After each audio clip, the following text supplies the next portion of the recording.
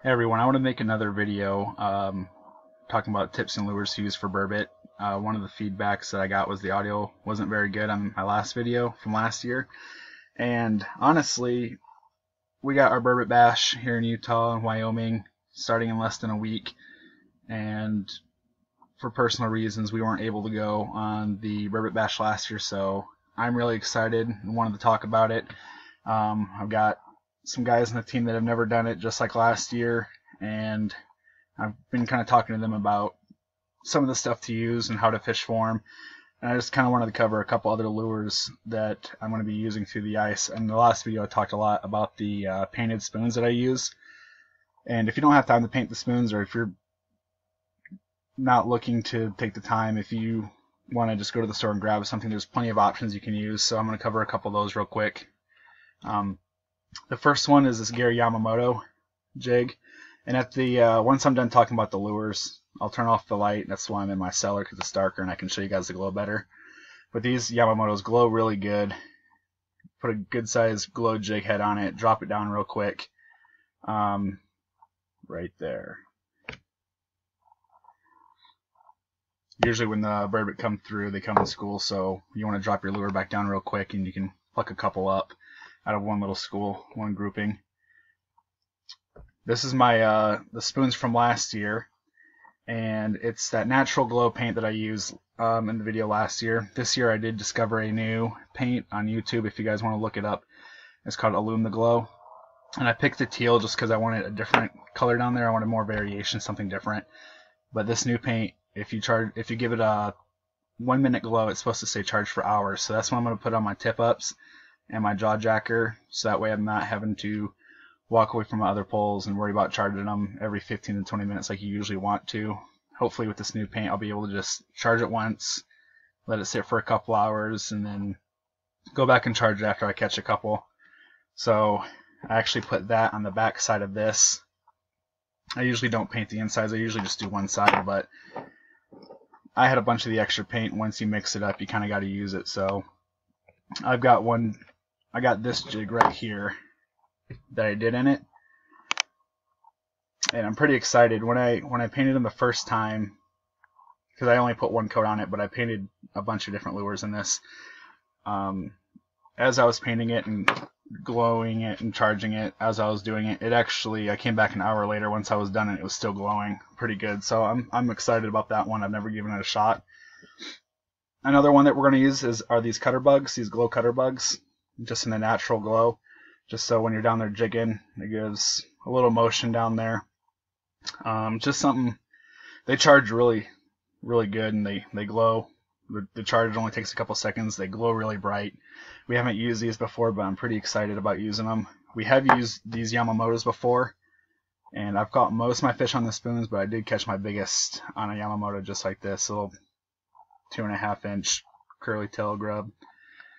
And then last, this is something I've never done before, um, but I wanted to give it a shot. I just took a lipless crank, covered it in paint. It's not the prettiest paint job. My paint was really thick and not working too great for me, but I'll drop this down there with the sucker meat on the end, and if you can hear, it's got a rattle, so I'll pound the bottom with that. Just something to try to bring some more attention over to the area. Like I said, they, they don't see great, so the glow is important, and then if I can add some rattle to the scent, I figure why not give it a shot. So when you're fishing for the burbot, you want to bounce your lure right off the bottom. Um, they usually hug the bottom pretty good. So drop your drop your lure down. Once you know that you're on the bottom, just give your reel a full rotation or a half rotation just to get it off the bottom a few inches. You don't, you know, when you look at your flasher when you're in 25, 40 foot of water, it looks like you're right on the bottom, but you're more than likely going to be you know, a foot or so off the bottom before you get that clear mark that you're off the bottom. So drop it down once you know your depth and just give give your spool a half rotation, a full rotation. Just keep it right there close to the bottom. Pound the bottom a lot. They respond pretty good to jigging. They respond good to dead stick as well. So now I will show you the uh, the glow. Like I said, make sure you've got your UV UV lights, they give a more concentrated, powerful charge to your lures. So I just picked up this new light this year. It's got 55 bulbs on it. It's a 365 power. So let me give these lures a glow. Like I said, it's dark now. So this is going to be the Gary Yamamoto. I'm just going to hit that for a few seconds. You can see how good that thing glows. So you'll just tie that on, put your sucker meat on the tip, just bounce that off the bottom, get some attention down there. And this this holds a pretty good charge. Um, preferably you want to do everything after about 15 minutes. So charge them up often and get them down there. But this holds a pretty good glow for quite a while. Next is the spoon from last year. These are the the natural glow spoons that I I showed in my other video. Charge those up, and that glows super bright. So same thing, sucker meat, right on the hooks, pound the bottom, bounce it against the rock or sand, whatever you got down there, stir up some dirt and draw some attention over to you. And this, I, I think these work so good just because it's such a large face of glow. There's just, it's a lot of glow down there. They can see it pretty easy. Now this next one is the new uh, the the new paint, the Glow. and I like I said I did the teal color because everything I do is the natural glow.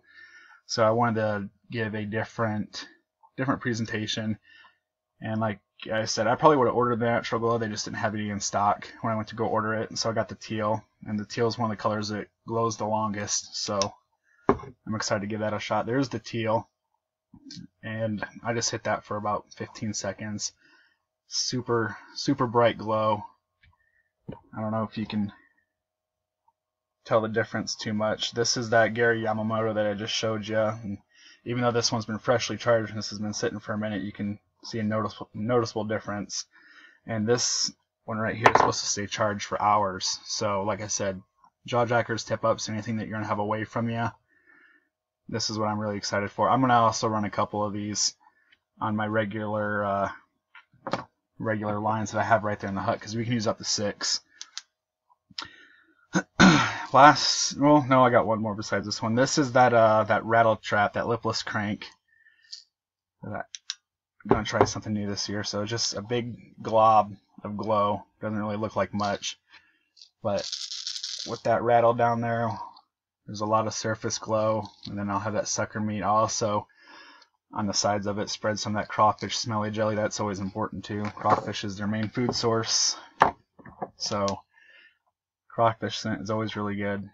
And then this is um, my brother-in-law stumbled across this when we were at the store. We haven't used it before, but we like the idea of the tails just creating a different motion down there. This thing glows really good. We've never used them before, but we picked them up. We're pretty excited to give this a shot. Same thing, all these we're just going to pound right off the bottom. And um, that bright glow is going to make a world of difference. If you don't have the glow, it's it's going to hurt you. The glow glow's one of the most important things. Um, I know here in Utah and Wyoming we use uh, chunks of sucker meat or chub meat, and other parts of the country and uh, even up in Canada, I know people use live bait, live minnows and everything, but it's against regulations here in Utah, so we use the sucker meat. So this is that teal color now out of the dark. You can see it's kind of got a blue tint to it. But yeah, set your lines up with 8 to 10 pound tests. I usually run 10 pound, oh, 8 pound tests. I've got a couple with, with 10, just being optimistic, I'll get a big one. But um, 10 pound tests, pound the bottom, south facing slopes, rocky structures. Uh, we like to target 10 to, or 20 to 40 feet and space out if you're not hitting them in one spot, move until you find kind of where they're moving from their uh, spawning grounds to their feeding grounds. Right now during the winter, uh, especially at the end of this uh, this month in January, they do two spawns through the ice, so they're going to be spawning.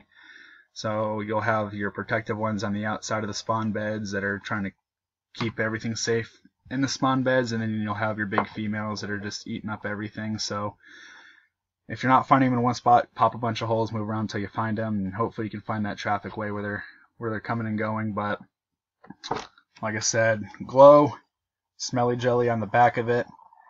Um, and then your sucker meat. Pound the bottom, hug the bottom with your lure, and hopefully that's going to be enough to put you guys on the burbot so you'll have a successful trip.